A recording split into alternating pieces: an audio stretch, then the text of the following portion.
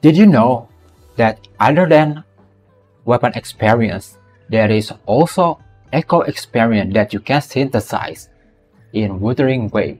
Yeah, that's right. You can just go here and go to construction.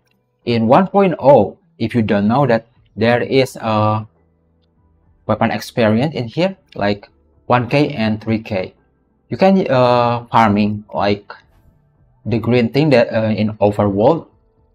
So this one uh, is quite uh, uh, abundant, like flor florable. But in 1.0, there is the new thing that you can uh, farming. It's called fluorite.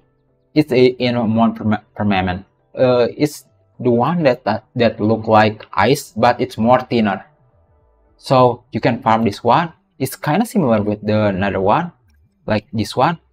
You can uh, after you you farming it, you can uh, synthesize it to have a weapon experiment like this one. But in every uh, week, there's only 10.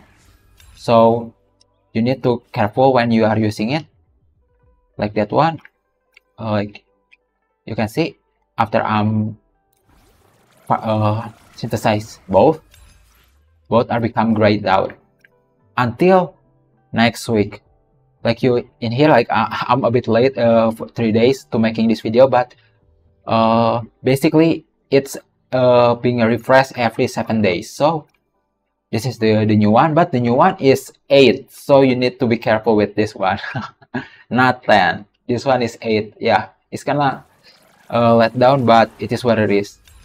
At least you you have a free free one that you can using it. Like, I, I mean, yeah.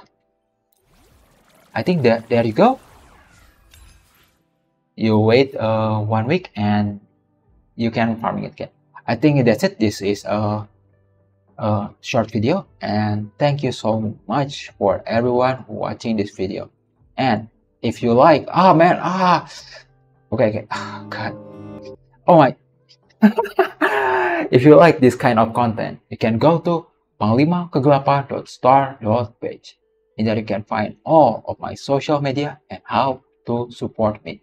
I just say hi and I'm live streaming next time. So thank you so much and I will see you again next time. Bye.